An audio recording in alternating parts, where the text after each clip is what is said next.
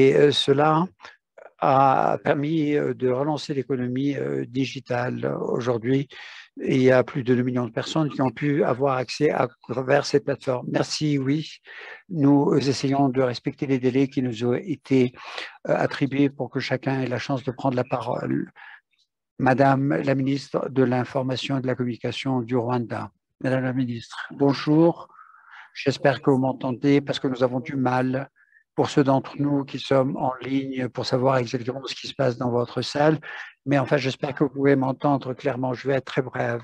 Je crois que Paul a clairement expliqué quels étaient les avantages, les bénéfices de ce partenariat euh, qui permettrait d'améliorer la connectivité Internet. Alors, au Rwanda, c'est ce que nous essayons de faire. Euh, essayer de voir euh, comment nous avons les réformes réglementaires qui permettraient d'avoir une connectivité qui soit utile, mais qui est accessible à tous.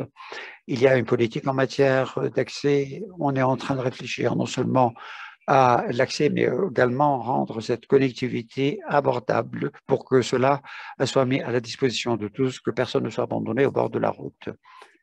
Ensuite, il s'agit de voir comment on peut stimuler la, la demande, avoir une bande passante à haut débit, c'est très bien, mais il faut créer les compétences qui permettraient de numériser les services, mais aussi faire en sorte que les appareils utilisés soient abordables et que l'on puisse tout le monde, que tout le monde puisse euh, profiter de cette infrastructure. Alors pour le secteur euh, privé, il faut procéder à des investissements techniques et financiers qui nous permettraient justement de créer cette infrastructure à travers nos pays. Donc euh, pour avoir une connectivité abordable, stable, utile, ce n'est pas un résultat qui sera obtenu par un seul partenaire. Il faut tous se mettre ensemble pour que nous puissions obtenir ce résultat. Merci. Merci beaucoup. Monsieur Lee, maintenant, euh, secrétaire général adjoint chargé des affaires économiques et sociales, qui viendra ici à la tribune pour répondre aussi à ces questions qui ont été posées tout à l'heure.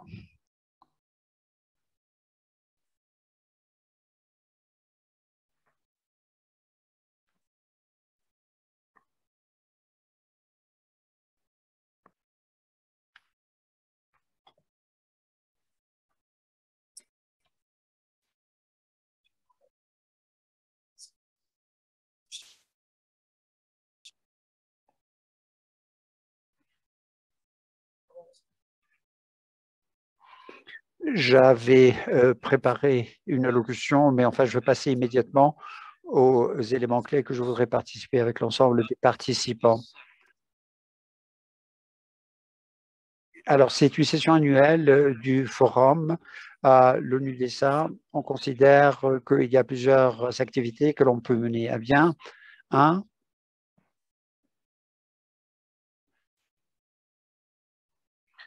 il faut comprendre que euh, le forum euh, a un rôle à jouer, euh, c'est un réseau et au fil des années, les différentes communautés ont échangé leurs points de vue, leurs bonnes pratiques et trouvé ensemble des solutions pour assurer la connexion de ceux qui ne sont pas aujourd'hui connectés.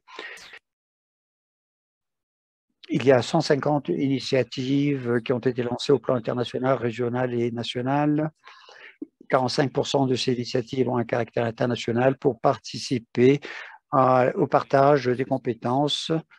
On travaille avec euh, des euh, institutions pour la gouvernance euh, de l'Internet et le forum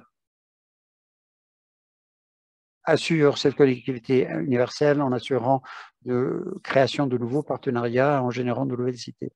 Deuxièmement, au-delà de notre appui que nous apportons à euh, Forum, l'ONU-DESA euh, tient des discussions avec les parties prenantes euh, pour avoir une approche plus générale sur la science, l'innovation et les résultats de ces réunions annuelles du Forum sont soumises à l'appréciation du Forum de haut niveau des Nations Unies pour assurer la réalisation des EDT.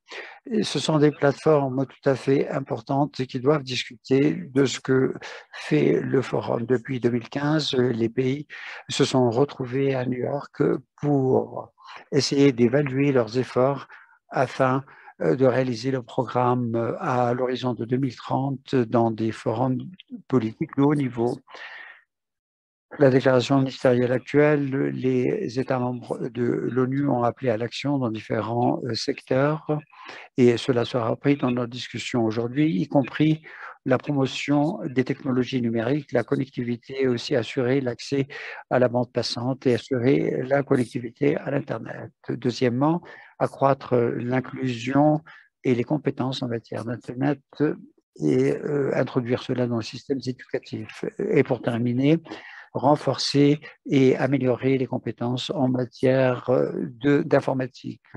L'ONU-LESA veut introduire les activités du forum avec euh, le mécanisme de facilitation de technologie qui a recruté ou approché plusieurs parties prenantes technologiques et techniques depuis son lancement et euh, dans le cadre du forum sur l'innovation. Notre recherche en ce qui concerne le gouvernement en ligne est une ressource tout à fait précieuse. Nous savons euh, comment on peut utiliser Internet et les euh, technologies informatiques pour fournir des services. Nous allons euh, lancer une enquête en 2022 sur l'avenir du gouvernement en ligne.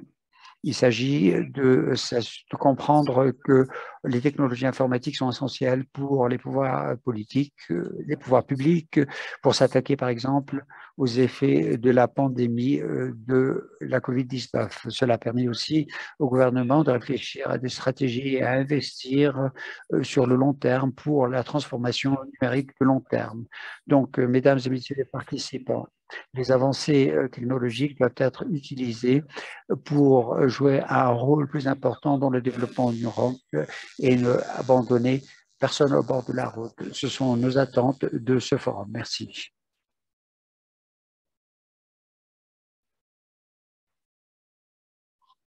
Merci beaucoup, Monsieur Lee.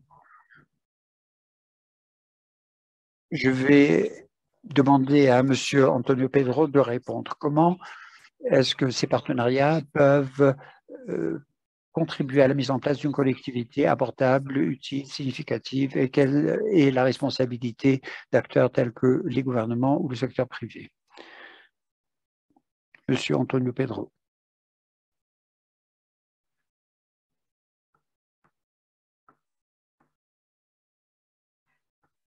Bonjour.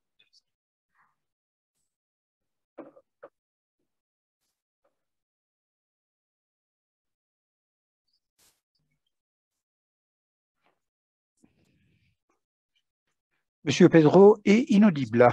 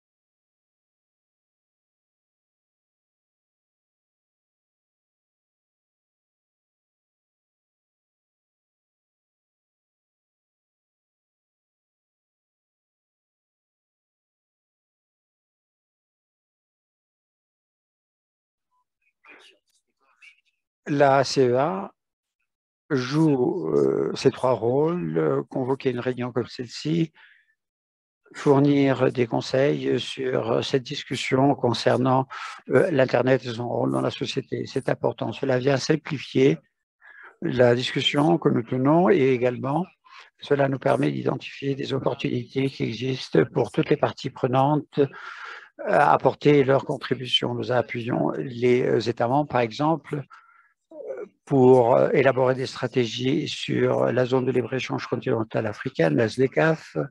C'est en quelque sorte le plan Marshall pour l'Afrique.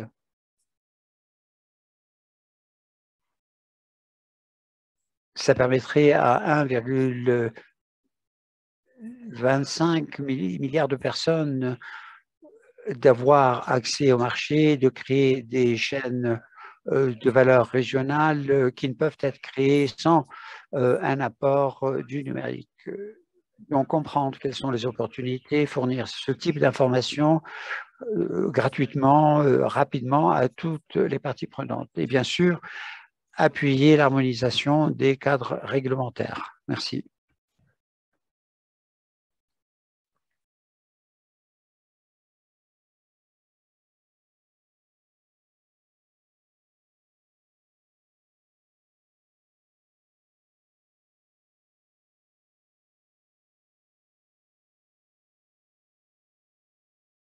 Bonjour à tous. Alors, est-ce que j'ai toujours accès à mes deux minutes? Merci. Sachez que je serai assez bref. Bonjour, je m'appelle Kojo Boake, basé en Turquie avant tout. Merci à tous, notamment Ryan que j'ai rencontré ce matin. Merci aux organisateurs. Sachez qu'il s'agit de ma toute première fois à ce forum une vingtaine d'années. Je suis très content d'être ici. La question donc des partenariats multipartites a déjà trouvé réponse auprès d'honorables M. Paul et M. Scully. Et vu la salle, nous reconnaissons tous donc l'importance des problématiques identifiées, les arguments sont tous partagés, les objectifs en matière donc euh, de technologie d'information et ainsi de suite, ainsi que l'élaboration donc de plusieurs politiques, dont celle formulée par l'IUT. La question portant sur le rôle des parties prenantes est sans doute nuancée. Je pense que généralement, on pense donc au gouvernement qui élabore donc les cadres politiques qui concerne également les, le secteur privé, les organisations de société civile qui se dressent aussi en lanceur d'alerte. Il y a également le secteur privé qui devrait être donc l'entité investissante. Il y a donc ces rôles-là qui sont répartis et importants, mais je reprends avec plusieurs nuances il faudrait également donc, euh, des cadres politiques euh, soufflés par le secteur privé pour encourager non seulement euh, les prix de plus en plus abordables de l'accès à l'Internet, mais aussi pour réduire les lacunes et c'est là où on attend l'intervention des gouvernements. Alors, est-ce que vous pourrez me rajouter 15 secondes en plus des deux minutes déjà écoulées? 10 secondes alors. Donc, quand bien fait, c'est là où on peut compter sur de projets pertinents pour connecter l'Est à l'Ouest ou inversement, euh, connecter 33 pays entre l'Afrique, le Moyen-Orient et l'Asie, avec donc euh, l'accès aux capacités des câbles disponibles. il faudrait qu'on puisse compter sur davantage de tels projets. Merci Madame la présidente de séance.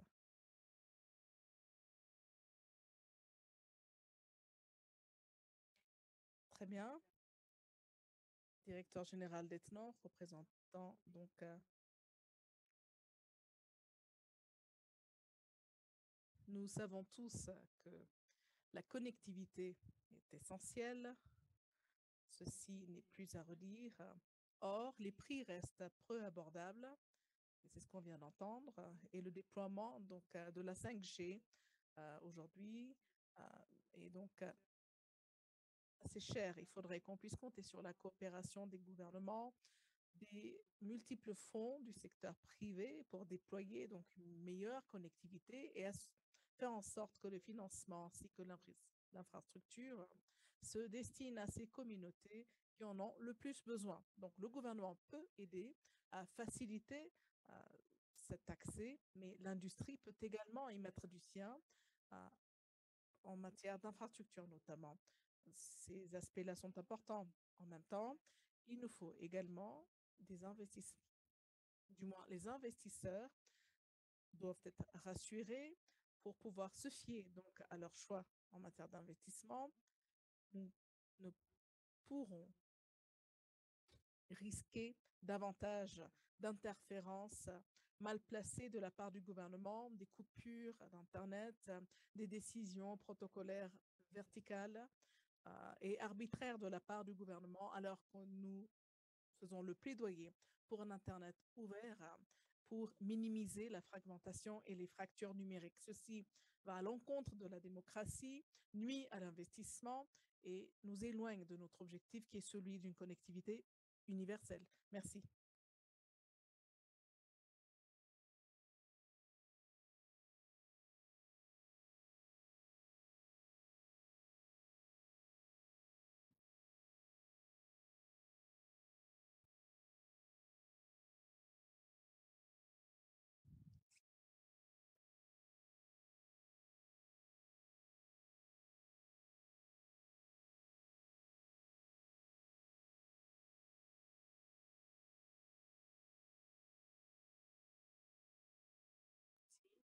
Merci beaucoup, Madame la modératrice. Euh, L'Afrique n'est pas étranger à plusieurs défis liés à l'Internet, étant donné qu'il s'agit du continent le plus jeune en matière d'accès à l'Internet. Et ces défis vont donc d'une euh, instabilité de la connectivité à une insuffisance donc de dispositifs en matière de capacité, de contenu, d'éducation et j'en passe, y compris aussi la mobilisation multipartie de la communauté. Donc, euh, il y a un grand nombre de technologies pour répondre à ces défis, mais j'aimerais aussi choisir de m'arrêter sur une nouvelle problématique liée à la technologie et la sécurité pour faire un amalgame à la sécurité alimentaire. Il faudrait qu'on puisse donc aspirer à un accès à l'Internet continu vis-à-vis de la stratégie de transformation technologique de l'Afrique avec les objectifs qui ont été donc déclinés, notamment d'ici à 2030, un accès complet et 30% d'accès à l'information. On cherche à pérenniser la continuité à l'Internet au vu des handicaps en Afrique en matière d'opérations liées à l'Internet. On comprend l'urgence de compléter donc, une série donc, de cases à cocher dans les années 90, la majorité des prestataires d'Internet étaient donc euh, des prestataires indigènes. Ceci a beaucoup changé depuis. Quelles sont les leçons politiques que nous avons apprises? Merci. J'aimerais demander à Rodney Taylor, secrétaire général de aux Caraïbes. Bonjour. Euh, en effet, le coût de l'infrastructure du déploiement fait partie de la problématique en matière d'abordabilité et d'accès et de prix d'Internet. Il y a certains cas isolés, évidemment, et on aimerait donc parler du coût élevé des petits États insulaires hein, isolés. Parlons aussi des institutions internationales telles la Banque mondiale et d'autres euh, euh, qui pourraient donc fournir un capital plus accessible en matière d'investissement. Il y a aussi des problèmes liés à la régulation et au coût de l'infrastructure, ainsi que le déploiement et la technologie derrière. On constate de nouveaux progrès, tout comme l'accès euh, ouvert à la radio, des réseaux qui permettent le partage d'infrastructures. En effet, une réglementation insuffisante vis-à-vis -vis de l'harmonisation pourrait avoir donc pourrait avoir des retombées. Merci.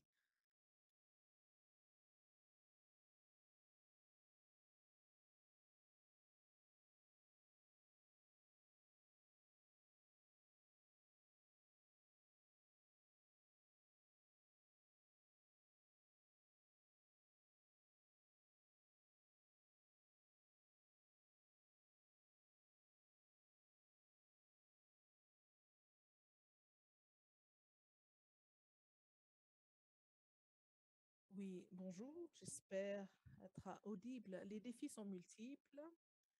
Il y a également plusieurs couches, plusieurs nuances euh, en matière de cadre de transformation numérique. Euh, nous nous focalisons sur les trois euh, volets, les trois piliers, donc la création de valeur, l'accès, l'abordabilité, évidemment. Sur, du point de vue de l'accès, le défi, le défi principal serait lié donc à l'infrastructure, le coût de l'infrastructure, comme cela a déjà été évoqué par Rodney, d'où l'importance donc de développer des modèles commerciaux euh, dans lesquels l'infrastructure liée à la connectivité est déjà donc installée bien sûr et l'abordabilité est aussi un obstacle de taille.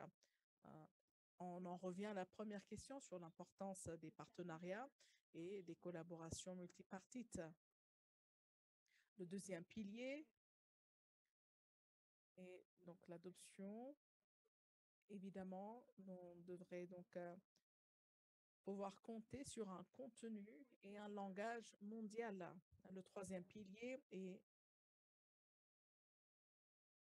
la création de valeur euh, donc, euh, un pilier très important.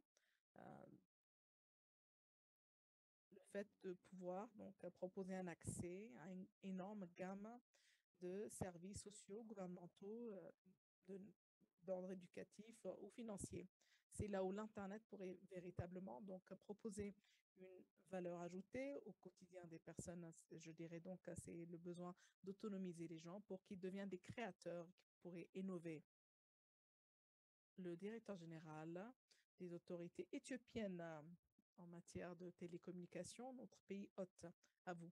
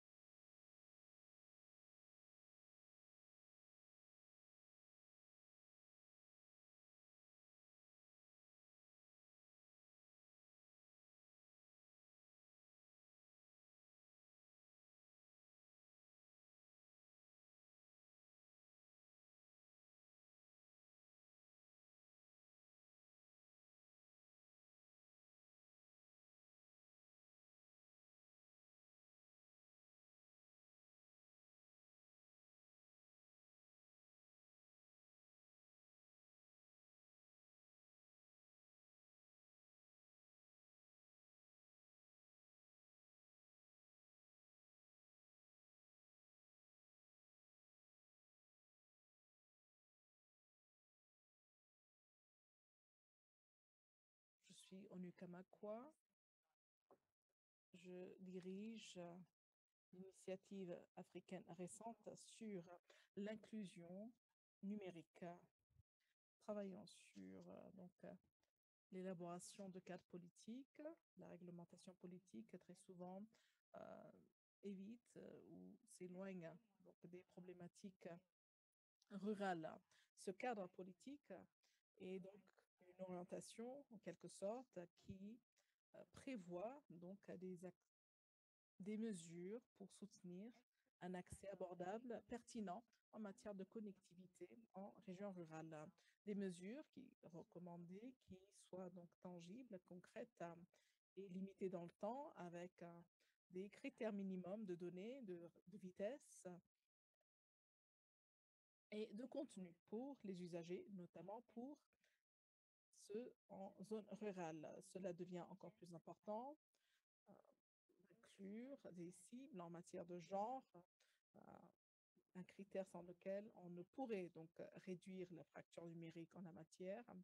Il faudrait qu'on puisse réfléchir de façon euh, très concrète en matière de réduction de fracture numérique.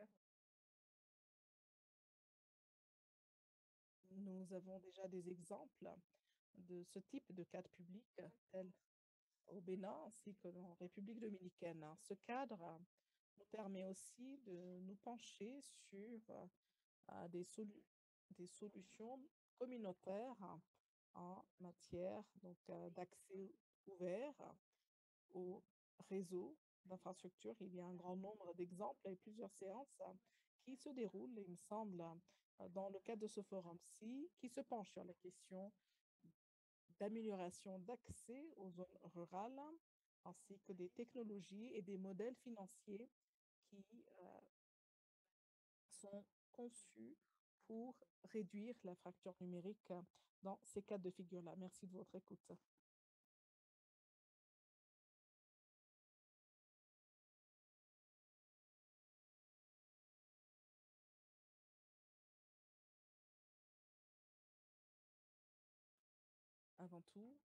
Permettez-moi de commencer par reconnaître et remercier donc, notre pays hôte, l'Éthiopie, ainsi que son Excellence, Monsieur le Ministre, honorable Laguetaon, présent parmi nous ici, ainsi que le ministre. Merci pour cet accueil chaleureux. C'est notre première fois à Addis Abeba nous venons d'un pays très lointain, avec un décalage horaire de 7 heures. C'est un grand plaisir d'être parmi vous et d'assister à cet événement très important. Nous sommes évidemment euh, ici entourés d'experts en la matière. Quelques mots euh, sur ce que l'on réussit jusque-là en Papouasie-Nouvelle-Guinée donc, euh, nous œuvrons, nous commencerons déjà par remercier donc, ce forum euh, IGF euh, pour ne laisser personne de côté en matière de connectivité. Mon pays, la Papouasie-Nouvelle-Guinée, s'est fait remarquer en très peu de temps au vu de ses efforts en matière de transformation numérique.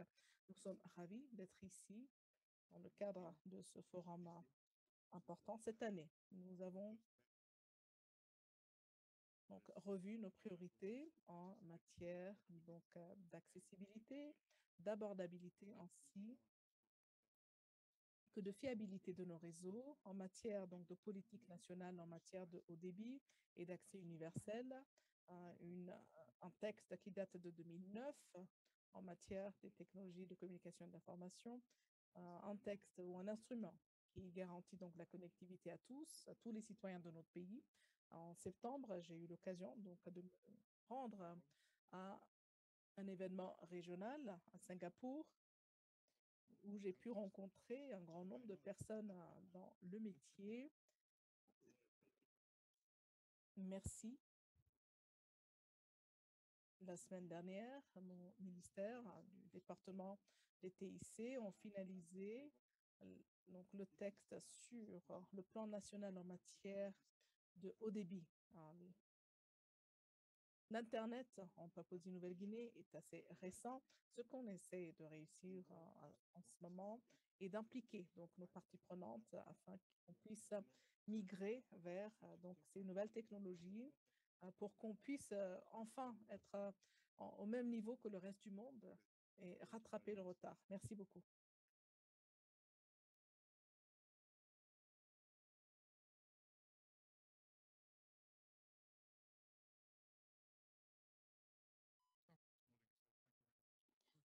M'entendez? Merci. Euh, je suis ravie d'être parmi vous ce matin. Je représente donc euh, ICANN. Sachez que dès que vous êtes, ou à chaque fois que vous êtes sur Internet, est-ce que vous m'entendez mieux? Je disais donc qu'à chaque fois que vous rendez sur Internet, euh, vous allez forcément donc utiliser un service d'ICANN. Nous proposons donc euh, les piliers de l'Internet, les adresses, les DNS et les protocoles. Aujourd'hui, nous comptons au-delà de 5 millions d'utilisations de ces trois piliers, qui est donc un chiffre tout à fait fantastique et très loin de nos attentes initiales. Au début, à ses débuts, l'Internet se destinait à, donc, un script en latin, la langue anglaise. Or, le débit aujourd'hui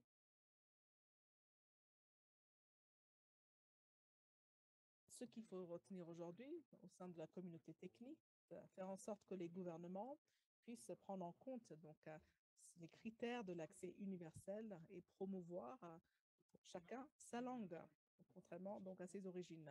Ce qui compte aussi pour nous aujourd'hui, notamment pour l'Afrique, il faudrait qu'on réfléchisse autrement, il faudrait qu'on agisse autrement avec des modèles euh, d'affaires qui changent.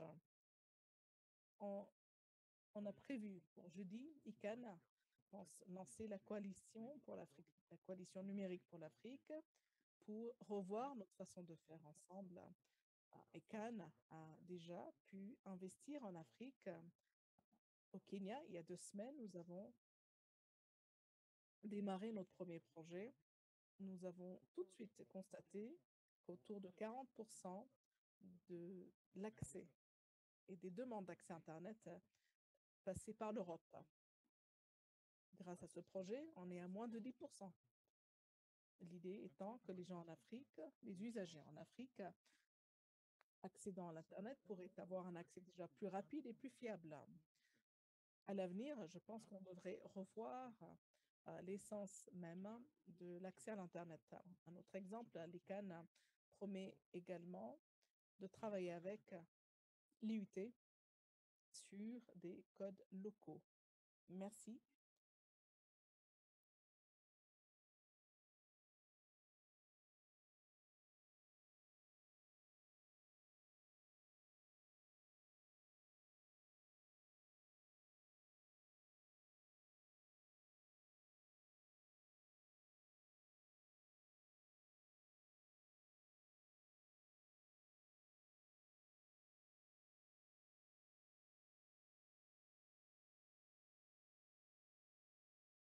En venir donc aux critères et aux objectifs axés sur le genre euh, en matière de fonds et de problématiques d'accès à la connectivité, le service universel ainsi que les fonds. Il y a donc un rôle très important à jouer ici pour faire en sorte que la catégorie de la population qui historiquement a été mise de côté aujourd'hui n'aura plus le coche en matière de genre, 50% des ressources devraient aller pour faire en sorte de garantir la participation des jeunes filles et des femmes et faire en sorte qu'elles soient connectées à toutes les opportunités numériques. Notre équipe a mené une, étude avec ONU Femmes en matière donc, de services universels et de fonds d'accès. On a constaté que ces fonds existaient, mais était rarement utilisé à bon escient, il y a des mécanismes importants qui pourraient être mis en route pour faire en sorte qu'on puisse agir de façon efficace afin de réduire ce fossé homme-femme en matière d'accès à l'Internet. Merci.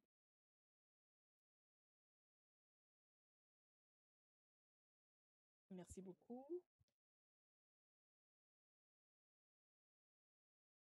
Notre prochaine intervenante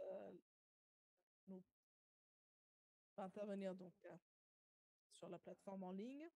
Pour répondre à, l'une de vos questions portant sur l'inclusion avec une approche multipartite, avec le partenariat au centre de nos efforts, personne ne pourrait donc résoudre cette problématique seul, d'où l'intérêt de travailler ensemble pour faire en sorte qu'on protège au mieux les groupes vulnérables pour leur inclusion,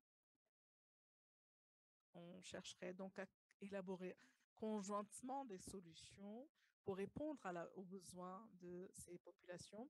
Nous sommes auteurs de plusieurs initiatives. J'aimerais d'ailleurs euh, féliciter la promesse euh, qui vient d'être communiquée par euh, la coalition africaine, la coalition numérique africaine. merci Goran. Il y a eu 500 promesses on espère compter plus en matière de connectivité dans les écoles et les efforts en matière de GIGA, hein, les pays GIGA, hein, avec l'UNICEF, une initiative qui cherche à connecter toutes les écoles dans le monde à l'intérieur. Chaque jeune, euh, homme ou femme, puisse euh, pouvoir compter sur un accès à Internet. J'y reviendrai plus tard.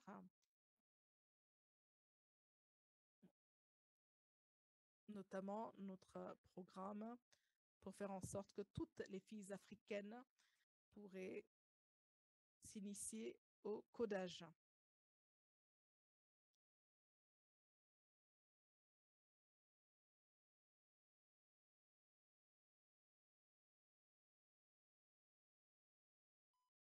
M'entendez Très bien.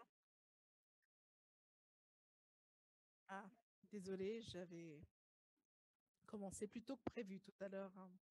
Je parlais donc des initiatives qui sont déjà en cours.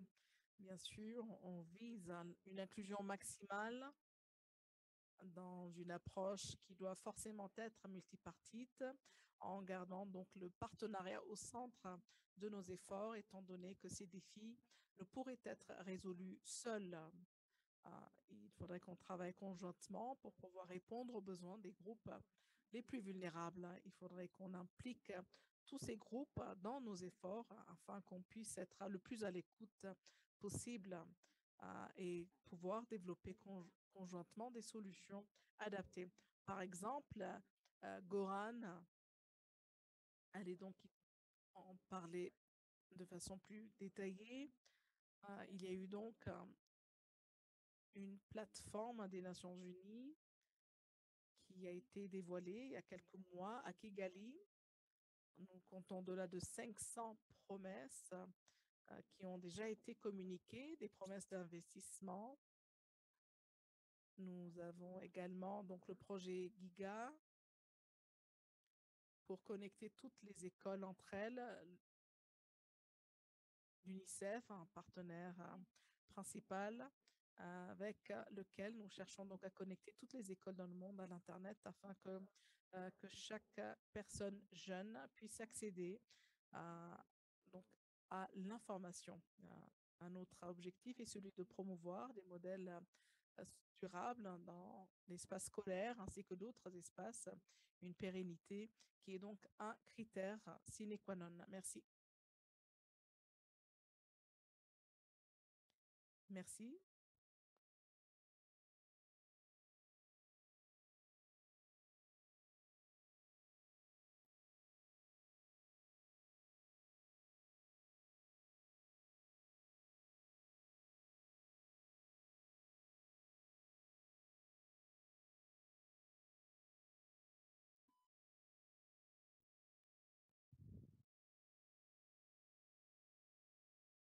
Est-ce que vous m'entendez? Oui, allez-y. Alors, nous avons quelques difficultés techniques à l'écoute, euh, d'où ma question. Je vais donc, euh, reprendre euh, les idées de l'intervenante précédente. Évidemment, l'accès universel à l'Internet ainsi que l'abordabilité des prix hein, de l'accès les panélistes précédents ont beaucoup insisté sur les défis en matière d'accès, accès à une connectivité donc significative et abordable. Une autre question importante, ou ce qui est au corps de cette question est vraiment celui donc de l'abordabilité et des prix. On considère désormais donc de nouveaux modèles commerciaux avec des subventions qui facilitent donc l'accès à des services d'Internet à haut débit, euh, pour un grand nombre de foyers de ménages qui bénéficieraient de prix au rabais hein, pour accéder à ce service. Je sais que Dorine, comme les orateurs précédents, ont également parlé d'accès universel et des fonds. Hein, ceci, pour plusieurs pays, reste insuffisant. On on devrait également chercher, au-delà donc de chercher à réduire la connectivité, mais aussi réfléchir donc à, l'aspect subvention pour une connectivité pour un plus grand nombre de citoyens. Deuxièmement, en matière donc d'initiatives qui, qui cherchent à améliorer la qualité de la connectivité, une connectivité significative, hein, le projet GIGA mentionné par Dorine tout à l'heure. L'idée serait donc de passer d'un modèle CAPEX à un modèle COPEX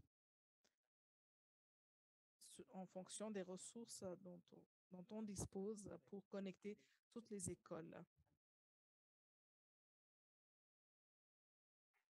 Alors, la dernière partie de votre question, comment faire pour inclure tous, notamment pour ce qui est de la connectivité? Tout d'abord, il faut comprendre qu'au moment de la conception de nos programmes, il y avait toujours des groupes marginalisés, que ce soit des femmes, chefs de ménage ou d'autres groupes. Et donc, il a fallu en tenir compte, y compris des personnes souffrant d'un handicap. Alors, si on ne tient pas compte de ces personnes, on ne pourra pas les inclure dans ce travail. Donc, nous avons commencé par identifier ces catégories et essayer de les associer à ce programme que nous avons mis en place pour assurer une bonne collectivité. Merci.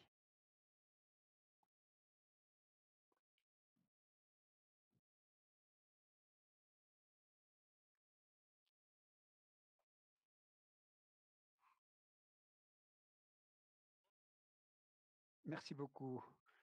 Il y a plusieurs questions qui ont été posées, mais il y a une question qui revient à plusieurs reprises. Lorsque l'on parle de l'Afrique en tant que continent et les autres pays, eh bien, moi, je travaille dans une organisation qui est là pour aider les pays africains. Il ne s'agit pas pour nous de définir des problèmes, mais de trouver des solutions. Et dans un continent comme celui-ci, on est en train de revoir comment faire les choses, pour et, trouver une solution pour Internet, c'est beaucoup plus facile pour le reste du monde. Donc, il faut comprendre le problème, mais il faut que la solution vienne d'ici.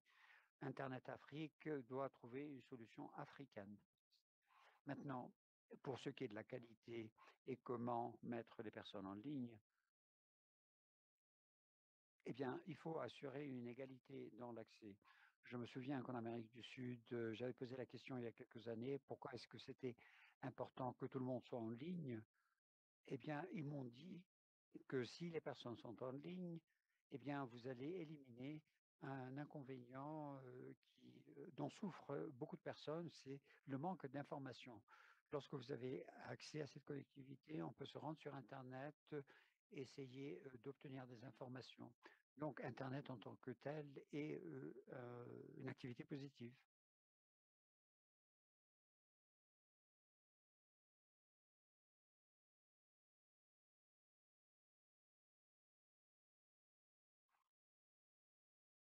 Je voudrais revenir sur les commentaires qui ont été faits tout à l'heure sur la nécessité d'avoir un contenu local et de trouver des solutions africaines. Nous sommes très fiers de notre programme qui permet d'assurer la connectivité à des jeunes femmes, à des jeunes filles, qui leur permet d'apprendre, d'acquérir des compétences avec l'intelligence artificielle et d'autres. Nous avons formé plus de 25 000 jeunes filles en Afrique et c'est un chiffre qui augmente, c'est très important. Par ailleurs, nous avons récemment mis en place un centre d'excellence de l'intelligence artificielle à Brazzaville, au Congo, permettant aux garçons, aux filles d'avoir accès à cette opportunité. Donc là encore, créer une infrastructure pour assurer une meilleure pénétration d'Internet sur le continent, c'est important. Nous sommes très fiers de notre centre sur la cybersécurité qui va être créé à Togo avec le même principe, c'est-à-dire créer ainsi une opportunité pour tous et savoir aussi quelles sont les possibilités qui existent. Tout à l'heure, j'ai parlé de l'infrastructure. Comme vous le savez, l'Union africaine a une stratégie numérique, digitale pour la transformation numérique de l'Afrique. Alors, au niveau de chaque pays, nous aidons les pays à élaborer leur propre stratégie nationale de transformation numérique. Ça nous permet de comprendre quels sont les problèmes qui se posent dans chacun de ces pays pour que les solutions nationales spécifiques soient rendues, deviennent une réalité. Merci.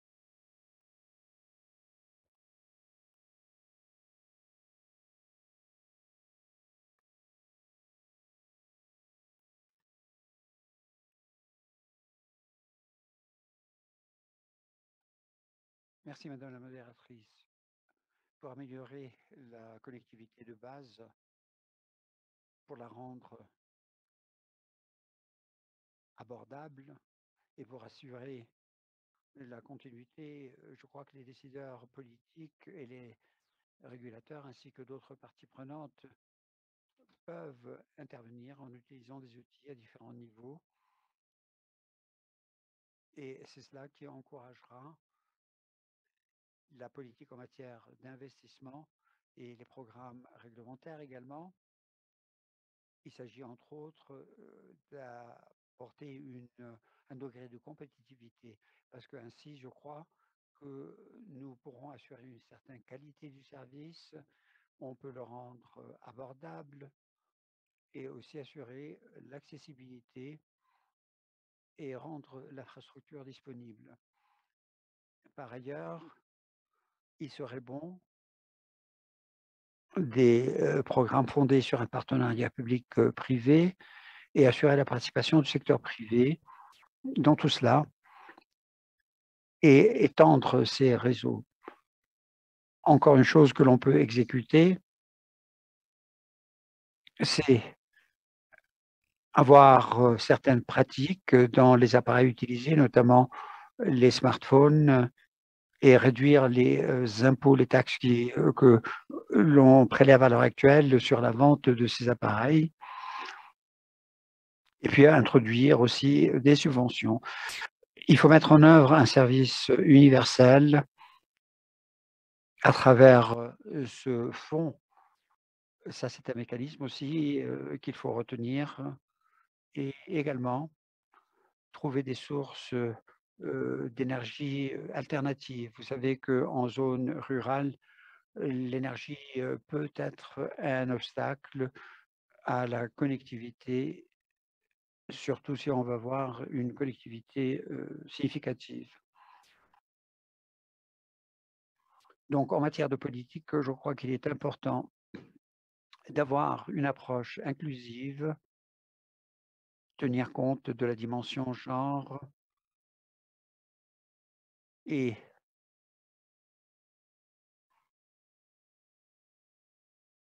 inclure l'accessibilité pour les personnes qui souffrent d'un handicap. Merci.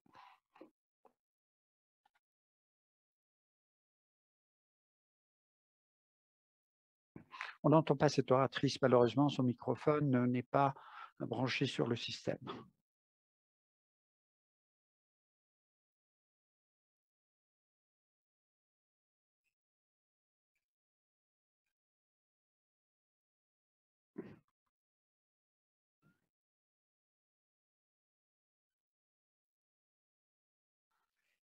Merci madame la présidente. J'avoue que je suis un peu que je souffre un peu d'un préjudice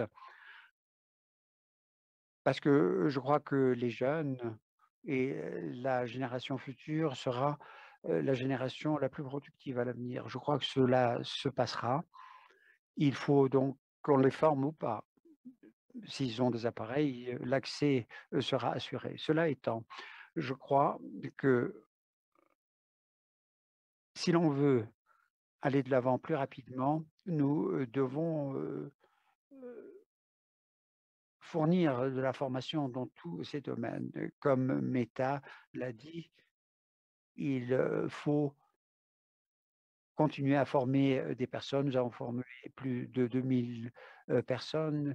4,5 millions ont été touchés par Internet, Facebook et d'autres et utiliser les de manière, TIC de manière respectueuse et assurer l'équité.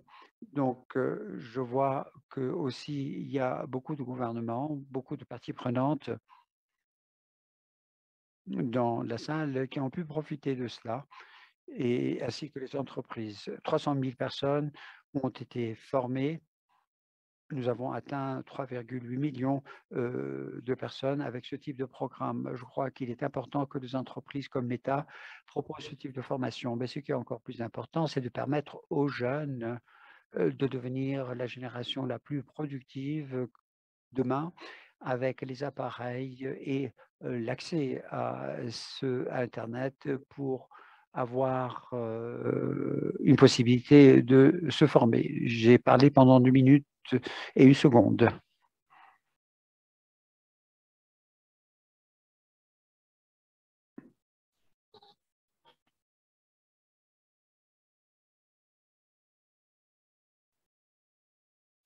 Bien, je crois que nous sommes tous d'accord pour dire que les compétences numériques sont essentielles pour une bonne connectivité il ne s'agit pas seulement de compétences, mais comment en profiter et les utiliser sur Internet, mais il s'agit aussi de compétences, comment euh, euh, fabriquer des codes euh, pour Internet. C'est la société de demain. Vous savez que l'année prochaine, là, en Europe, ce sera l'année des compétences. Et en 2021, on a fixé des objectifs. Pourquoi? Parce que cela permettrait d'améliorer les compétences et une euh, partie de cette décennie numérique. Euh, on, a inclus les compétences. On devrait avoir plusieurs spécialistes, 20 millions de spécialistes en Europe d'ici 2030, avec une représentation beaucoup plus forte des femmes et 80% des populations doivent acquérir les compétences de base. Donc, je crois que fixer des objectifs peut être utile pour accélérer cette euh, tendance. Alors, ce que l'on voit, c'est que l'on peut euh, fournir ces compétences dans les euh, institutions universitaires financées par le public ou le privé. Mais ce que nous croyons aussi, c'est qu'il faut améliorer les compétences actuelles. C'est pourquoi nous travaillons avec les syndicats pour améliorer les compétences des uns et des autres pour l'avenir. Si l'on veut, par exemple, avoir accès à ces compétences, c'est à travers ces partenariats qui regroupent plusieurs intervenants partout dans le monde. Cela inclut euh, l'industriel que je représente qui travaille avec les gouvernements et la société civile. Une dernière chose de mon côté, c'est qu'il faut créer le climat le plus propice, non seulement pour l'investissement, mais aussi il faut avoir un Internet ouvert fondé sur des normes internationales et qui est gouverné de la base au sommet.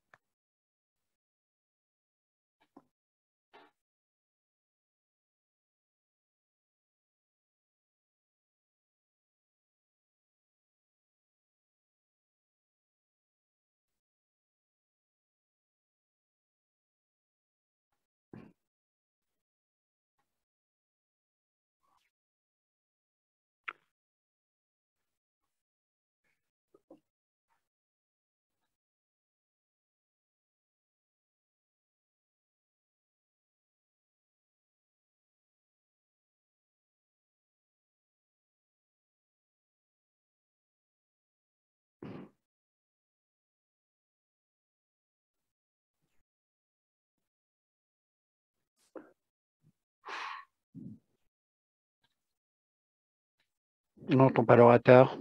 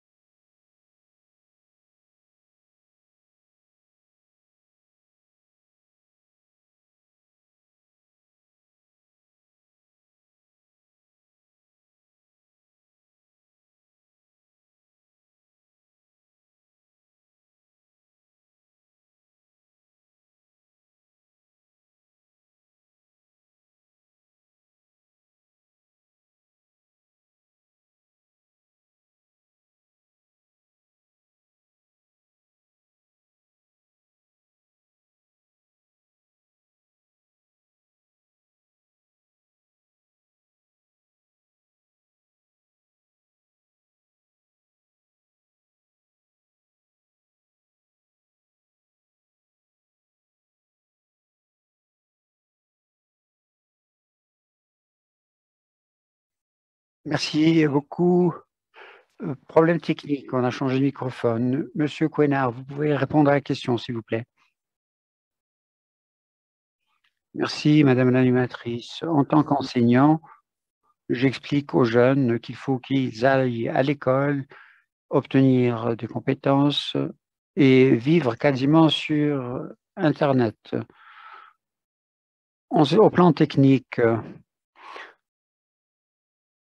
l'institution technique euh, africaine d'Internet est là pour vous aider à obtenir ces compétences. La large bande peut contribuer au euh, développement du PIB. Et donc, euh, ce qui est important, c'est l'éducation qui peut être un facteur déterminant pour obtenir une bonne collectivité. Donc, il faut euh, que les partenaires euh, encouragent les uns les autres à obtenir les compétences nécessaires pour qu'on n'ait pas à sous-traiter ces capacités techniques nécessaires, notamment en ce qui concerne les différents aspects techniques, c'est-à-dire euh, que si on adopte cette approche, on va définir et améliorer nos capacités techniques parce qu'il y a des décisions euh, techniques euh, qu'il va falloir prendre sur lesquelles on ne peut pas revenir. Il y a, par exemple, un long cycle sciences et des technologies qui ont euh, poussé à la création euh, d'Internet. Et donc, il faut que ces questions soient traitées par nos institutions scientifiques et que cela fasse partie de nos activités de recherche. Une fois qu'on aura réalisé nos objectifs en matière d'accès, on verra que ce qui déterminera la qualité de notre économie, c'est la qualité de l'éducation. Et donc, il est important d'avoir des euh, programmes universitaires de haut niveau et aussi avoir des techniques scientifiques qui permettent de promouvoir tout cela. Et donc, nous croyons qu'un réseau comme celui-ci permettrait d'avoir la connectivité pour l'éducation à l'école et ainsi partager ces résultats. Merci, M. Couillard. M. Rodley Taylor, est-ce que vous pouvez répondre à la question également? Merci, Joel. Je vais vous donner quelques exemples. Certaines questions ont déjà trouvé une réponse. Je vais vous donner l'exemple des Caraïbes, un projet euh, de la Barbade où j'ai participé avec euh, nos ambassadeurs numériques, c'est que on a fait une éducation gratuite pour l'éducation euh, tertiaire, notamment ceux qui faisaient des études d'informatique, parce que ces services numériques font partie du cycle de développement et donc, ils ont reçu une formation en premier. Ensuite, ils sont déployés dans des écoles, dans d'autres institutions.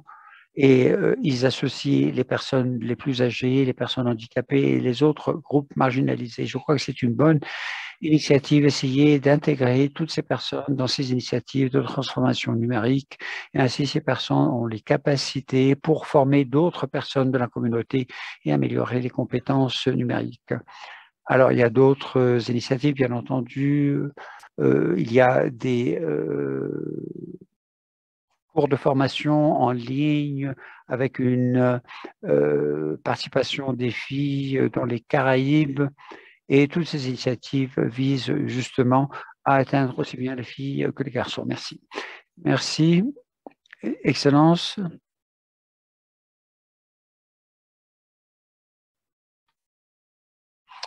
Merci encore une fois, Madame la modératrice. Écoutez, la question des compétences numériques est une question extrêmement importante dans mon pays. Nous travaillons beaucoup pour améliorer les compétences numériques de nos élèves, de notre main-d'œuvre ainsi que les petites et les moyennes entreprises. Nous travaillons avec le ministère de l'Éducation, les universités pour améliorer les programmes scolaires et assurer une alphabétisation numérique. Nous travaillons avec les jeunes au collège et au lycée. Nous leur proposons une formation et ensuite ces jeunes vont initier leurs parents euh, sur le numérique parce que c'est une nouvelle vague technologique euh, dans notre pays. Nous faisons de notre mieux pour n'abandonner personne à bord de la route. Nous allons encourager les industries, nos partenaires pour apporter le numérique à nos exploitants agricoles et d'autres. Nous voulons créer des réseaux numériques dans des centres communautaires, dans les écoles, avec des laboratoires. Et il s'agit aussi d'associer les jeunes, les filles, les personnes souffrant d'un handicap, etc. Et il y a aussi d'autres activités de sensibilisation qui sont menées à bien dans le pays pour leur faire comprendre l'importance de ces compétences. Lorsqu'Internet est arrivé dans mon pays, il n'y a pas si longtemps de cela, eh bien, euh, ça a été en quelque sorte quelque chose qui a frappé l'ensemble du pays et beaucoup de personnes ne savaient pas euh, comment utiliser euh, Internet, ils ne savaient pas ce que signifiait le numérique et du coup, ces personnes utilisaient mal Internet, les réseaux sociaux et tout euh, ce qui se trouve euh, sur Internet. Donc, nous travaillons étroitement avec euh, notre industrie pour mettre en place des programmes de formation. Le mois dernier, nous avons signé un protocole d'accord avec nos universités pour mettre en place ces programmes. Nous travaillons avec la Société nationale de l'informatique pour autour d'autres projets. et nous avons signé aussi un, protocole d'accord avec EPNIC et nous avons un accord avec Cisco et d'autres. Merci, Excellence. Doreen Martin, qui va répondre à la question également. Merci. Je vais commencer peut-être par revenir sur quelque chose qui a été dit tout à l'heure, à savoir que Internet peut être un facteur d'égalisation. Et pour cela, il faut que l'on soit doté des compétences techniques nécessaires. Tous les chercheurs qui n'ont pas ces compétences eh bien, connaissent des obstacles difficiles à surmonter. Donc, on a besoin de plus de compétences numériques et cela le plus tôt possible. Les compétences numériques, la sensibilisation à cela est quelque chose qui doit être fait à l'école, au niveau primaire, avec euh, les efforts qui sont déployés par le projet GIGA. Les jeunes ont aussi euh, besoin de compétences en matière de médias, d'information et euh, d'autres domaines connexes. Cela est, devient de plus en plus important, comme on peut le voir, et l'UIT, bien sûr, joue le rôle qui est le sien pour euh, ce qui est de la formation en compétences techniques. Rodney vient de vous parler de l'Académie euh, de l'UIT. Nous avons des centres de transformation numérique. Il en existe sept en Afrique euh, qui donnent des notions de base en matière numérique, forment des formateurs et aussi faire connaître les technologies numériques, l'innovation, etc. Nous travaillons étroitement avec l'OIT, l'Union africaine, pour mener à bien ces activités en Afrique. Nous avons un atelier de codage qui est organisé où on invite des jeunes filles pour qu'elles apprennent à le faire. C'est la même chose dans les Caraïbes et nous nous concentrons aussi surtout sur les filles pour qu'elles développent un esprit d'entrepreneuriat et les jeunes seront euh, déterminants pour euh, demain. Merci. Merci beaucoup. On passe à la question suivante. Pour l'avenir, un monde post-Covid, quels sont les enseignements que l'on peut tirer de la pandémie concernant les infrastructures numériques qui sont nécessaires pour le développement humain? Je vais euh, vous dire un mot sur le contexte de la Barbade. 80% de nos personnes euh, connaissaient un peu euh, Internet, mais avec la pandémie, on, a su, on a appris qu'il y avait une possibilité d'accès, mais vous n'aviez pas tous les appareils pour cela. Vous avez des situations, vous avez une famille euh, avec trois enfants d'âge différents, à différents niveaux de l'école. certains travaillent, un parent travaille chez lui, d'autres ne travaillent pas. Alors voilà comment euh, s'est présentée la situation. Alors, l'accès à l'infrastructure à travers des appareils abordables, c'est important. Je commence par vous, par vous, Monsieur Pedro. Merci beaucoup.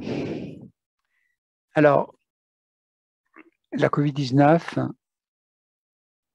a été un défi pour tous les pays, y compris en Afrique. On a parlé de la fracture numérique, pas seulement entre le nord et le sud, mais dans un même pays, la fracture entre les zones rurales et les zones urbaines, mais aussi euh, ça a mis l'accent sur l'importance de la transformation numérique.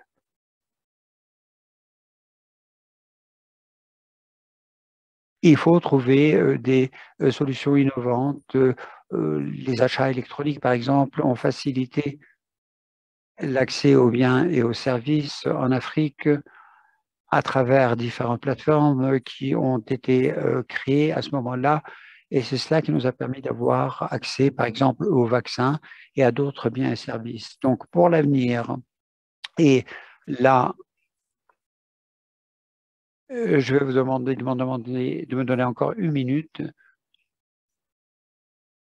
Je voudrais m'adresser aux je voudrais parler du sommet euh, de l'Union africaine, le sommet des chefs d'État et de gouvernement, qui a bien euh, souligné que euh, la transformation numérique était absolument nécessaire pour atteindre ces objectifs. Et donc, il va falloir apporter la preuve que cela est vrai à travers différents secteurs. Il nous faut des études, des preuves que la transformation numérique permettra, par exemple, d'améliorer le PIB de notre pays. Donc, euh, attirer l'attention des ministres des Finances qui vont déployer des ressources nous permettant à nous d'investir euh, dans euh, le développement de l'infrastructure, de la large bande, etc. Aujourd'hui, au Rwanda et dans d'autres pays du gouvernement, ces pays ont reconnu l'importance assez vite du développement de l'infrastructure numérique et ils ont investi dans cela. Donc, il faut investir de plus en plus dans ce processus.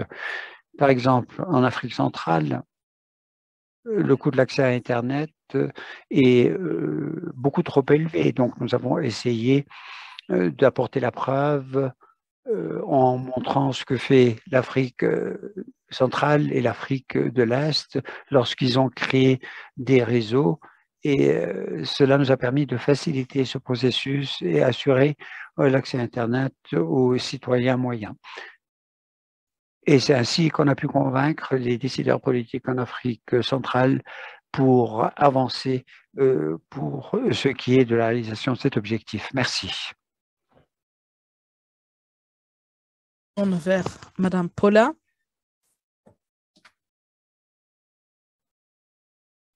Merci. Merci, Madame la modératrice. Euh, c'était un très bon choix d'exemple, les Barbades, ainsi que le vécu de la pandémie Covid, euh, qui nous aura beaucoup appris. Il y a eu une transformation numérique accélérée. Euh, un grand nombre d'investissements ont été fournis pour garantir un accès plus important. Donc, on a tout de suite compris qu'il y aura donc euh, des inégalités d'un pays à un autre euh, en matière de couverture ainsi que d'utilisation. Il y a donc ce déficit et il faudrait qu'on travaille pour faire en sorte que ce déficit entre la couverture et l'usage euh, pourrait être donc minimisé et garantir un accès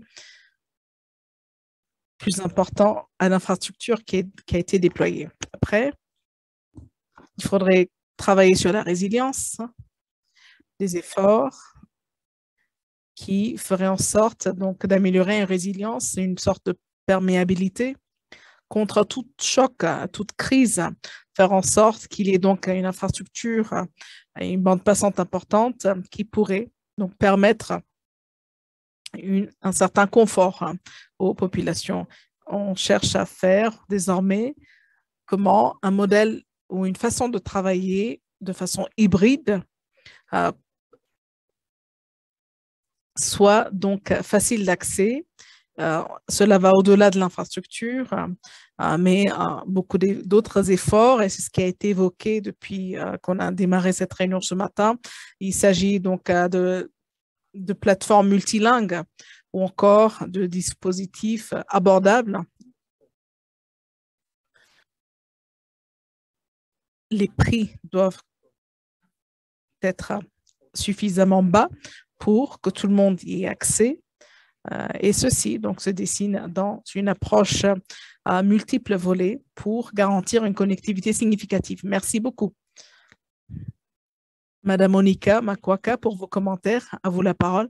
Merci, Madame la modératrice. Merci de ce partage d'expérience. Ceci nous aide à illustrer les inégalités et les déficits qui ont été soulignés euh, lors de la pandémie COVID-19. Premièrement, nous sommes aujourd'hui à un moment post-COVID euh, où les politiques numériques sont dans un contexte de compréhension donc plus approfondi. Il est important qu'on puisse collaborer davantage pour faire en sorte que nous répondons aux besoins des populations en faisant en sorte que les politiques numériques pourraient être appliquées à travers tous les secteurs, hein, l'éducation, entre autres. Deuxièmement, cet échange ce matin nous montre qu'il y a donc un besoin en ressources pour qu'on puisse euh, répondre aux besoins et réduire les inégalités, les disparités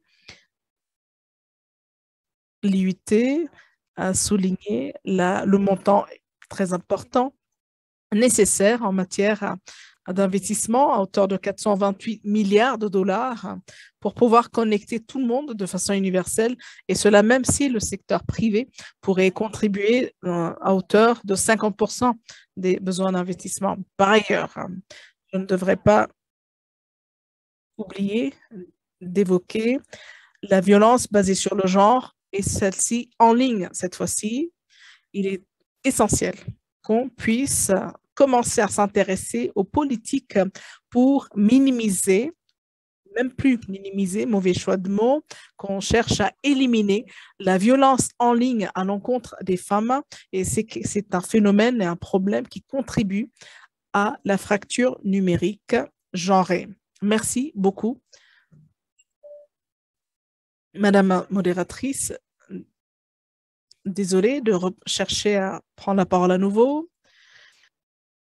J'aimerais donc demander à tous les participants euh, de voir donc au-delà de la pandémie, euh, de se tourner euh, vers le lendemain de ce forum. Septembre prochain, nous allons donc tous anticiper donc un sommet sur les ODD, un examen de la mise en œuvre des ODD.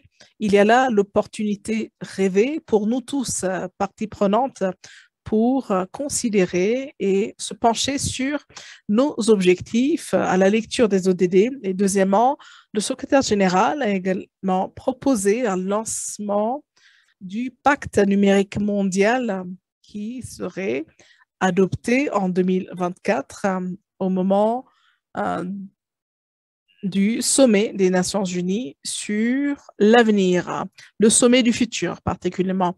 Nous avons lancé un appel à contribution à chaque partie prenante. Merci. Très bien. Monsieur Quena, directeur de Ghana.com. Merci beaucoup, Madame la modératrice. L'Internet avance très rapidement on y développe des solutions et des applications qui sont censées résoudre tous nos problèmes. Nous avons rencontré certains défis pendant les confinements liés à la pandémie COVID-19. Nous avons tous observé le potentiel d'un Internet local. Nous avons tous été donc formatés euh, ou en tout cas habitués à un accès à l'Internet à étrangers, c'est-à-dire des prestataires de services à l'extérieur du pays. L'Internet et les usagers n'ont pas, pas suffisamment pu profiter de l'économie locale ainsi que du tissu social. Il faudrait qu'on compte davantage euh, de connectivité locale avec des prix de plus en plus abordables.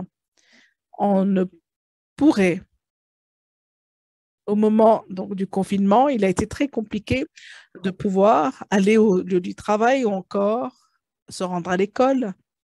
Il nous a manqué l'accès aux services locaux. Le travail en ligne était encore tout à fait étranger à notre culture locale. Mais depuis la pandémie COVID, ceci n'est plus une nouveauté et les façons de travailler et d'apprendre de façon virtuelle aujourd'hui deviendra donc un phénomène de masse pour qu'on puisse élargir donc le public. Merci beaucoup. Tout à fait. Vous avez bien fait de souligner l'accélération qui a été amenée par la pandémie COVID-19 et le cadre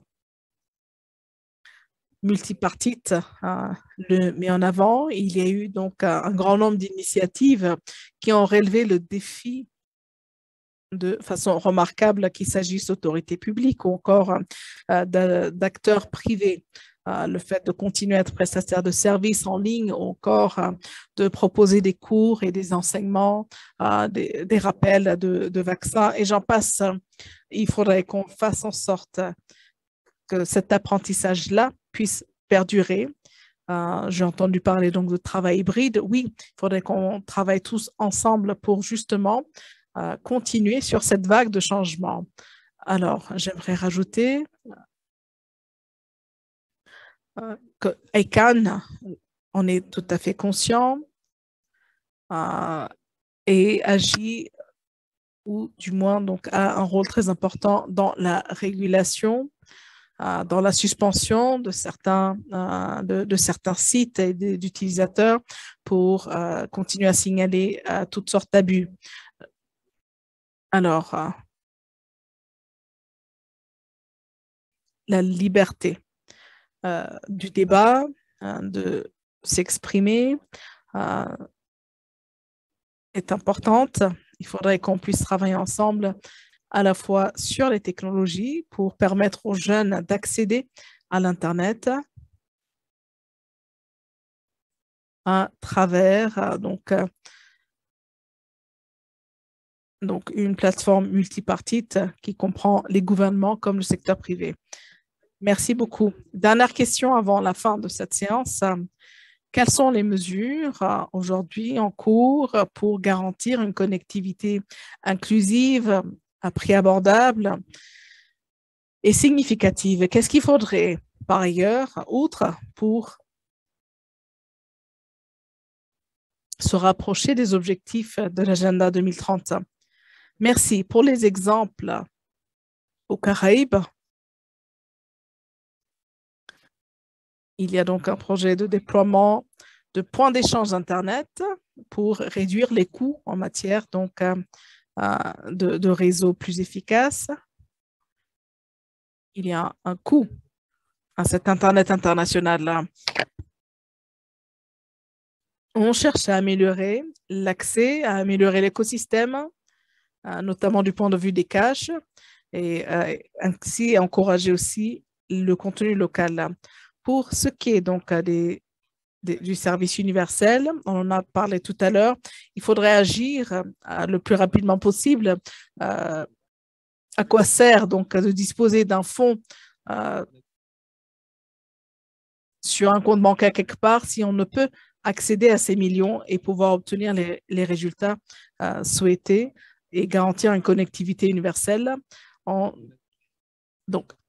Le pacte numérique mondial des Nations Unies qui euh, propose donc toutes les ressources nécessaires, notamment aux pays en voie de développement, pour réduire et minimiser le coût de la connexion, euh, revoir les prix à la baisse et ainsi que toutes les autres problématiques qui ont été évoquées plus tôt aujourd'hui. Merci. Merci beaucoup, Monsieur Taylor.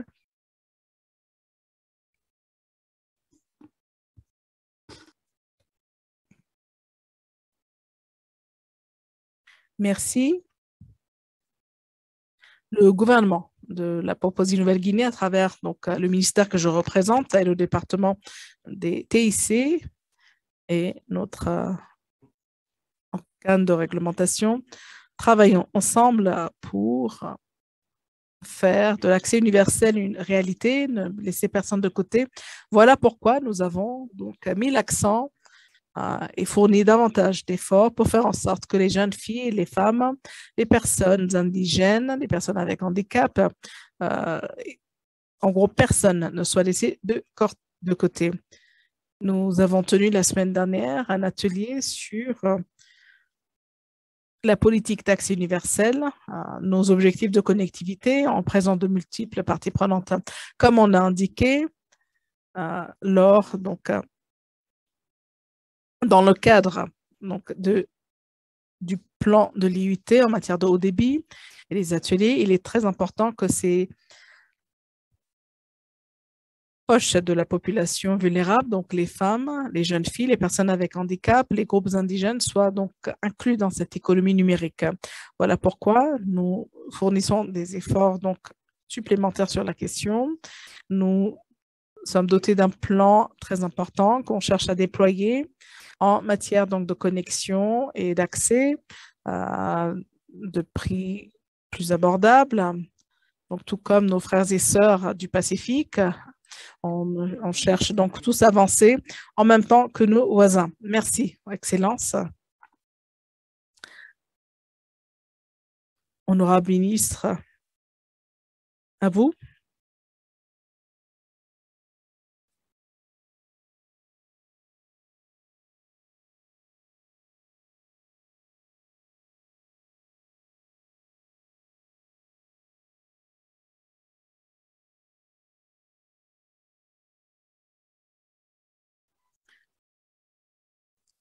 L'Éthiopie connaît donc un, programme de réforme en vue d'une transformation numérique.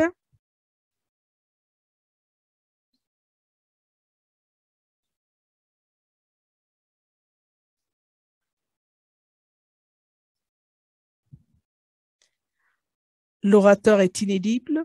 Désolé de ne pas pouvoir l'interpréter.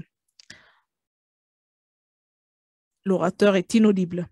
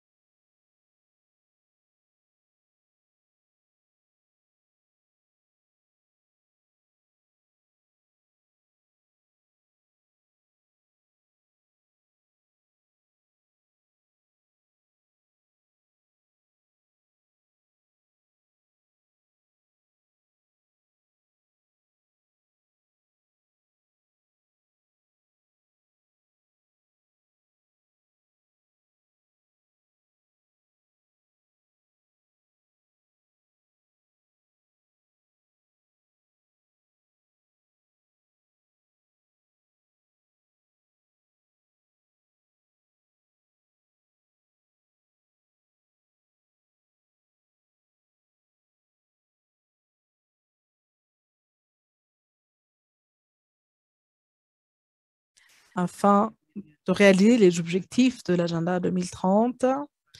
Et le point de départ serait donc de rassembler les divers éléments, l'infrastructure, la gouvernance, les compétences d'innovation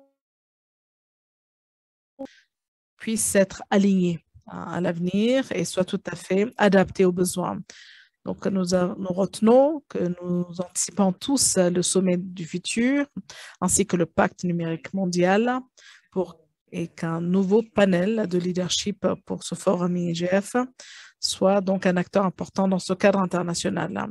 Il faudrait qu'on puisse compter sur euh, euh, nos propres ODD ambitieux euh, en faveur de l'Internet de, façon multipartite. Nous savons que les technologies numériques sont liées à un grand nombre des ODD, mais on pourrait utiliser cet élan euh, vis-à-vis du sommet pour le futur ainsi que le pacte en faveur d'une série d'objectifs qui nous intéresseraient vis-à-vis de l'Internet et de l'économie numérique. Tout comme la décennie numérique de l'Union européenne. J'aimerais, pour conclure, rajouter sur l'importance de ce processus, sur l'inclusion. Nous ne pourrions réaliser nos objectifs uniquement si le cadre de gouvernance est inclusif. Qui dit inclusif implique de voir et d'aller au-delà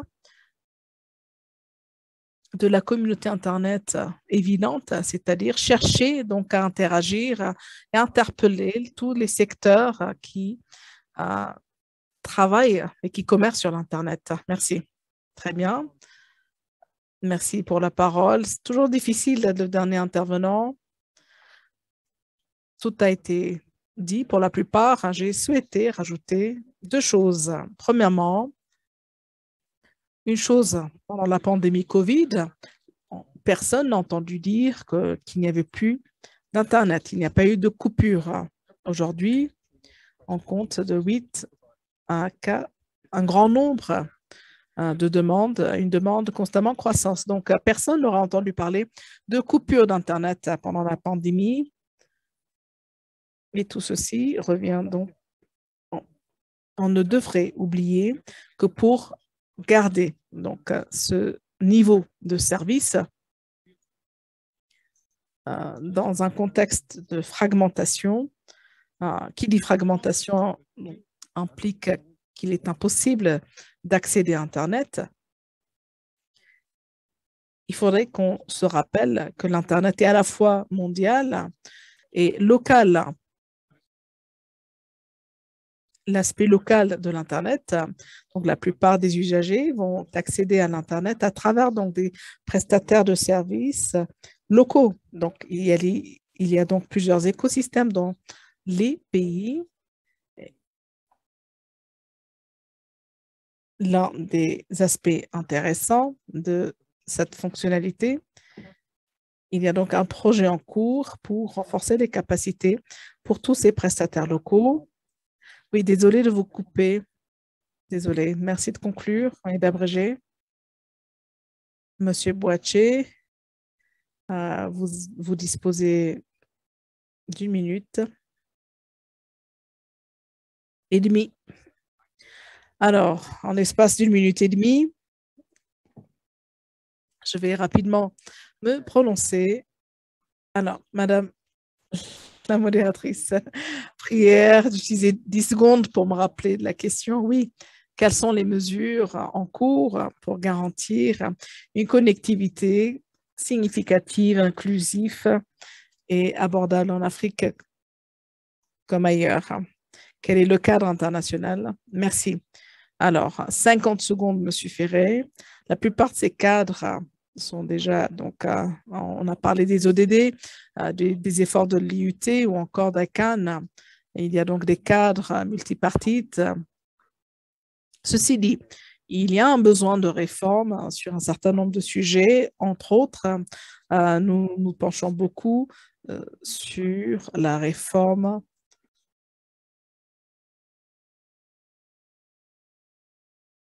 en matière donc, de spectre la réforme Spectrum. Un grand nombre de régulateurs africains y pensent. Euh, deuxièmement, on aimerait également voir euh, se changer euh, les cadres réglementaires en tant que société qui s'intéresse donc au métaverse. Au-delà de l'Internet, on se penche beaucoup plus sur l'innovation que d'autres et dans certains pays, cette innovation se voit limité, euh, faute donc euh, euh, de soutien et d'infrastructure. Voilà ce à quoi on pense. J'espère ne pas avoir dépassé mes 50 secondes. Oui, mais en même temps, vous avez eu 10 secondes en plus. merci. Alors, il n'est pas forcément question de législation, mais aussi, mais surtout de cadre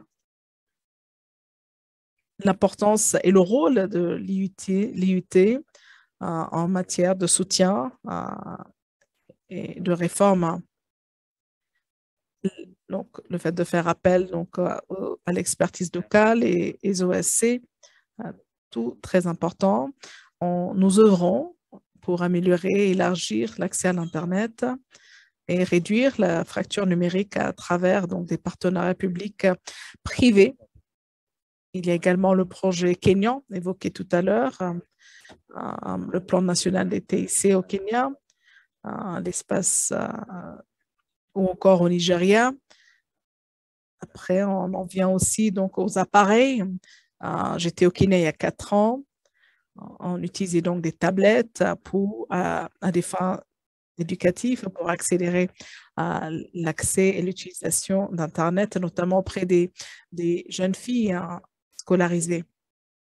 Donc, tout ceci a besoin de cadres organisés par le gouvernement britannique ou d'autres gouvernements, ainsi que d'organisations euh, présentes ici. Merci beaucoup. Avant de finir, je vais vous poser tous euh, une colle, euh, une dernière question pour vous prouver. Donc, vos derniers commentaires, 30 secondes chacun. Votre Excellence, Monsieur Timothy Massieu, alors, on souhaiterait que nos populations rurales puissent accéder aux services euh, gouvernementaux à travers donc, leur téléphone portable pour éviter de perdre du temps et de, faire euh, interminablement la queue ou encore euh, avoir des équiper les hôpitaux pour pouvoir enregistrer les naissances ou encore les consultations médicales, et j'en passe. Euh, cela, Votre Excellence, je vous coupe. Voilà ce qu'on aimerait faire avec l'Internet. Merci beaucoup. Merci infiniment, euh, Madame Paula Ngabere.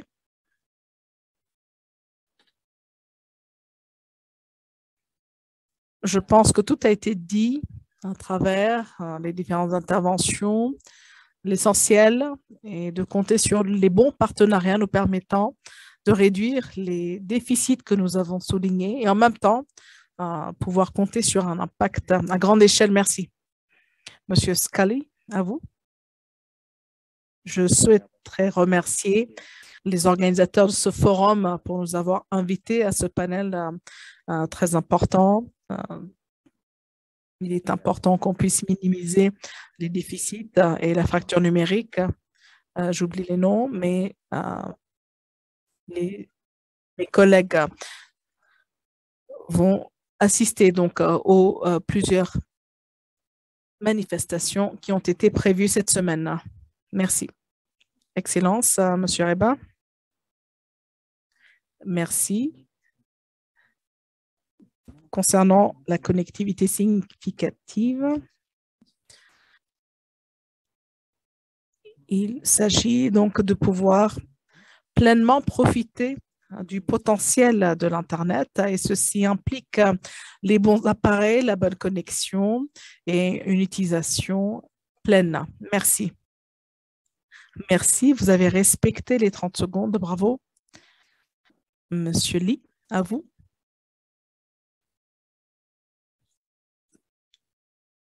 Très facile. Tout ça a été dit dans les deux phrases. Donc, un partenariat avec toutes les parties prenantes. Euh, et deuxièmement, l'action, l'action et l'action. Merci, Monsieur Pedro. Le monde de demain sera encore plus complexe que celui que l'on connaît aujourd'hui. Il faudrait qu'on investisse en matière donc, de capacité. L'Internet se trouve au centre de toutes les préoccupations. Je suis très ravi de constater ce qui se passe en ce moment. Il y a donc un, grand nombre d'experts en matière de données en Afrique, une communauté qui compte au-delà de 50 000 euh, scientifiques euh, qui s'attellent à co-créer des solutions. On aimerait en compter beaucoup plus. Merci, M. Bogdan Martin. Merci. Universel, significatif, abordable et j'aimerais rajouter donc fiable. Euh, L'IUT l'a déclaré aussi. Euh, donc on ne peut continuer à exclure un tiers de l'humanité comme son Excellence, Monsieur le ministre Timothée Massu l'a souligné, on ne pourrait réaliser les ODD et atteindre la connectivité universelle tant qu'on ne travaille pas ensemble pour pouvoir euh, pleinement profiter du pouvoir transformateur de l'Internet. Merci, 30 secondes me suffisent largement pour remercier les organisateurs. Merci de nous avoir donc invités à, ce panel. Merci d'avoir aussi donc euh, d'avoir cherché à inclure euh, les Caraïbes euh, dans l'esprit de la coopération et de l'inclusion. Nous avons suffisamment donc de connaissances et assez de ressources pour résoudre le problème. Merci l'Afrique a beaucoup progressé euh, dans l'espace des 30 dernières années concernant l'Internet. Euh, on devrait s'arrêter euh, deux secondes pour aussi apprécier ce qu'on a réussi pour en arriver là. L'Afrique reste un continent très vaste, très divers, très hétérogène. Il, il serait peu sage de chercher des solutions homogènes ah, il faudrait donc toujours chercher donc à, adapter au contexte euh, avec une solidarité interrégionale tout en mobilisant au niveau local. Merci beaucoup. Merci. Je reste très optimiste vis-à-vis de l'avenir. Euh, je pense que ce qui nous attend est très positif. Euh, ce panel a souligné les belles initiatives en cours. Je reste convaincu qu'il nous faudrait des ODD pour l'Internet, euh, particulièrement pour faire en sorte que nos efforts puissent être encore plus concrets et euh, sur le bon, la bonne voie. Merci beaucoup. Euh, évidemment, le développement est très important. Les organisations techniques gouvernées par un modèle multipartite, sachez que qu'il est important pour nous de pouvoir continuer à avancer, à travailler pour qu'on puisse garantir l'interconnectivité. Euh, quelle joie d'être euh, accompagné d'autant de personnes connaisseurs, experts en la matière et qui euh, pensent pareil. Donc, quel plaisir aussi de se retrouver dans une salle qui me permet de reconnaître aussi ma, place privilégiée d'un côté, mais aussi pour comprendre que nous avons encore deux journées entières pour échanger en matière d'opportunités ainsi que d'obstacles tels la violence en ligne basée sur le genre. Donc, merci à tous les collègues. Euh, merci d'utiliser votre temps hein, de façon productive au service des personnes vulnérables. Alors, l'exclusion genrée, jusque-là, a beaucoup coûté à nos pays. En 2020, en 1000 milliards de dollars de pertes en matière en, en PNB. Voilà le coût de l'exclusion je nous prierai, en plus du fait qu'il y a donc un devoir moral de lutter contre l'exclusion, sachez aussi que c'est la démarche pour réduire les pertes financières et avantager l'économie. Merci beaucoup. Et sur ce, nous allons donc conclure et clore cette session. Merci à tous de votre participation. J'aimerais particulièrement remercier mon équipe. Cette discussion de panel a été tout à fait fascinante. Merci à ceux qui, étaient, qui, sont restés connectés en ligne. Le rapport nous sera donc soumis par le rapporteur par la suite. Je vais donc vous demander d'applaudir nos panélistes. Merci à nos panélistes ainsi que nos invités en ligne de rester sur place pour une photo.